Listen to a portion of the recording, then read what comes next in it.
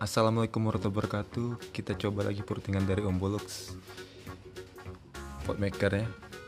Ini yang terbaru lagi di bulan Agustus ini Yaitu Ini dia.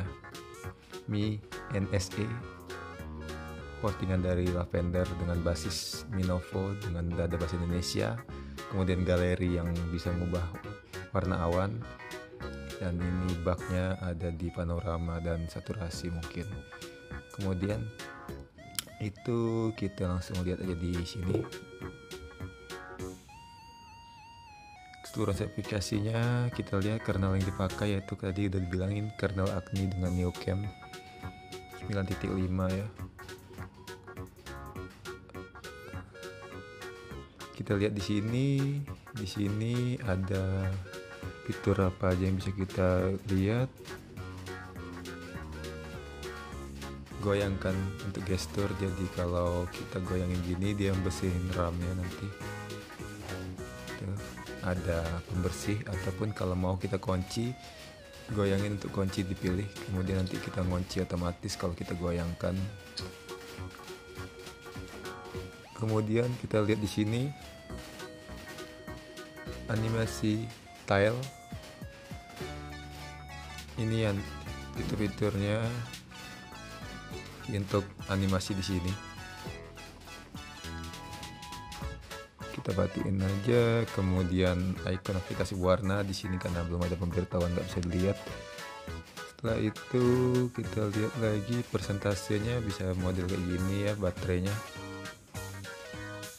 Indikator grafis.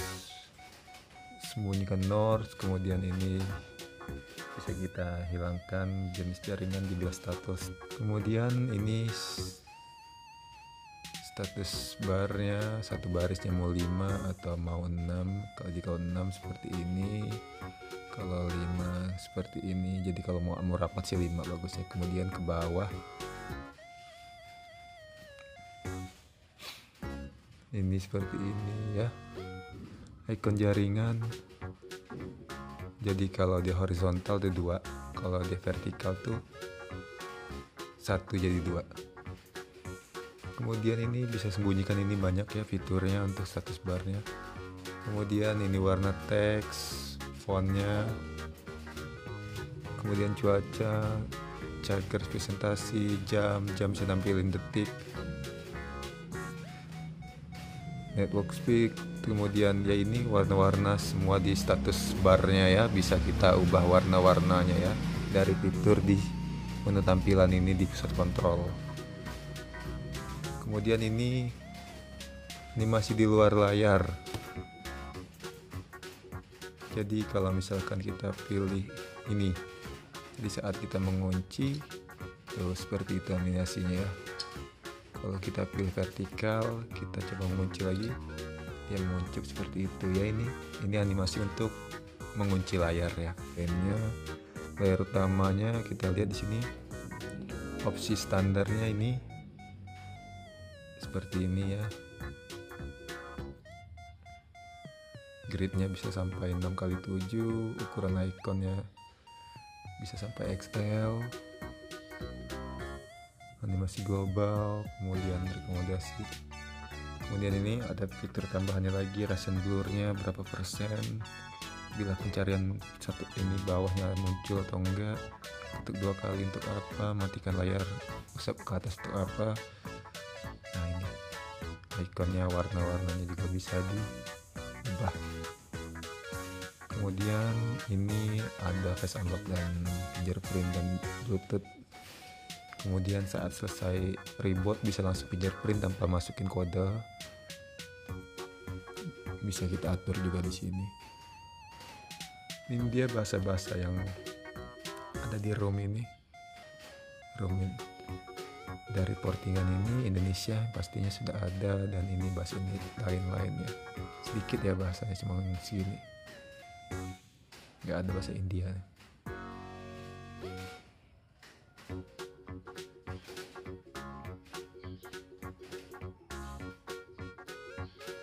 kemudian fitur spesial game turbo.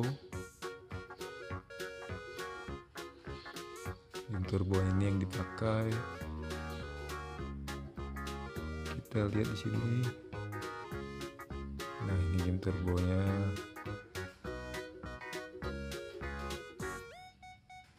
Mode performa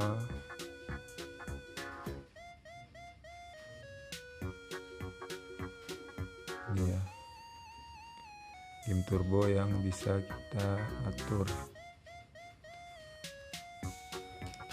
Di sini kita lihat kamera new camnya dengan foto kita simpan di SD card. Kemudian oh, kita coba ya foto. Dan kita lihat hasilnya aman ya simpan di SD card dan watermark juga Redmi Note 5 kita lihat di video. Video bisa sampai sama 4K kayak biasa. Kemudian kita lihat lagi di manual fokus shutter speed bisa seperdua dan ISO bisa sampai 3200 katanya di sini for close kita coba ya. Iya ternyata benar. Kamera di panorama for close. Kita lihat galeri. Galeri dengan foto awan. Di sini kita lihat fiturnya. Bisakah berjalan di sini? Kita lihat ubah kemudian kita klik langit. Kita coba langit terang. Ini posisi mendung ya. Kita coba langit terang dan berubah jadi langit terang. Kemudian kita coba lagi pelangi. Ada pelanginya. Kita coba lagi bulan. Jadi seperti foto sudah malam ini yang jadi warna bulan. Ini bulan penuh nah ini bagus ya untuk pamer-pamer foto fiturnya jadi bisa kita atur berapa persen Milky Way nya juga tuh. Bisa penuh misalkan penuh seperti ini kita simpan kemudian kita lihat nah ini hasilnya. Jadi dari sini berubah menjadi seperti ini. Kita lihat screen recorder. Screen recordernya bisa sampai 60 ya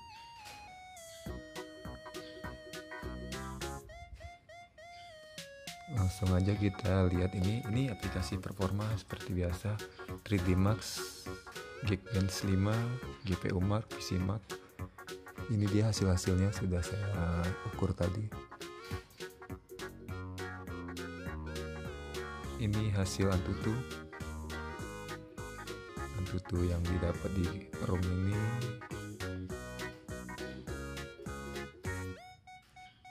Ini hasil GPU Mark nya ini PC Mark ini Geekbench 5 dan ini 3D Mark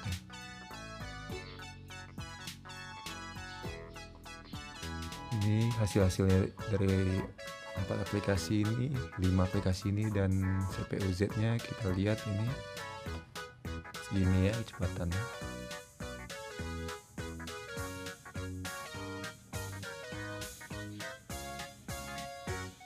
CPU throttlingnya kita lihat performa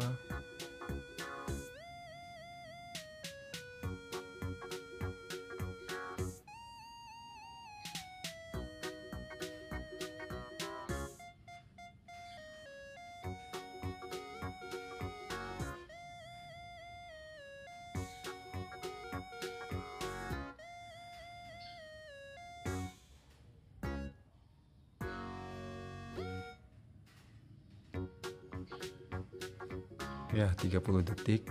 Seperti ini performanya performa dari ROM ini. Manual kamera langsung kita coba. Ya bisa untuk Gcam. Sekarang kita coba untuk PUBG dan Call of Duty untuk melihat grafiknya ya ini dia udah masuk game. Kita lihat grafik grafik bawaan cuma bisa sampai di halus tinggi HD tinggi dan mentok di HD tinggi. Jadi ini karena ini yang nggak di unlock grafik PUBG nya kita coba untuk sambil record apakah ngeprem. Kita masuk mode training dulu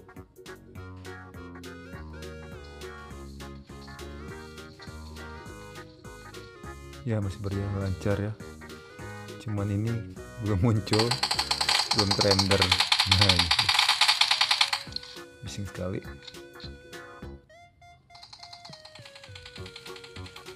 Ya masih berjalan lancar. Walaupun sambil record. Ini kenapa tiap memakai mobil selalu banyak bocor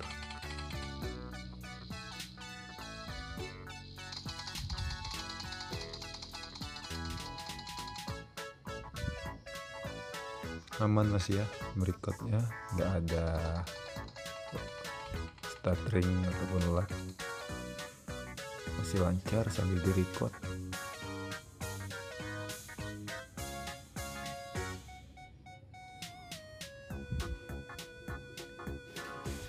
sekarang kita coba lihat grafik CODM kita lihat grafik mentok di sama ya kayak custom belum ya yang belum ke unlock juga jadi medium high mentok jadi custom ROM ini portingan dari Umbulux yang terbaru yang pastinya sudah banyak fitur baru salah satunya galeri dengan edit gambar latar awan. Dan ini lumayan bagus dengan sudah berbahasa Indonesia Makasih udah nonton. Wassalamualaikum warahmatullahi wabarakatuh.